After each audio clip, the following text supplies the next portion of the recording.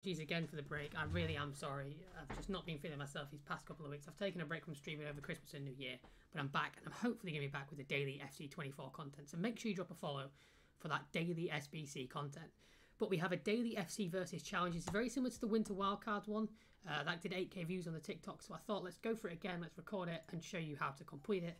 As always, this is what I've done it with players in my club. Not necessarily the cheapest way to do it or the best way to do it, but it's showing you how to get the chemistry. So you need at least two leagues, at least four clubs, players in the same country max four, at least 10 goals, at least five rares, and at least 27 chemistry. Now, I noticed that I had quite a few untradeable Serie A rares in my club, so I thought let's go down the Serie A route. Then I've just chucked in the random bronze and the La Liga right back. So, if you want to copy it exactly, I've used Montipò, uh, Correa, Milenkovic, Kimusuk, Akpa Akpro, Nandez, Rangers, Pulisic, Lapadula, and Sansone. Now, obviously, I wouldn't recommend copying it because it is a daily SBC, so you're going to be want to copy it every single day. But what I would recommend is going for nine players from the same league to get you that 27 chemistry.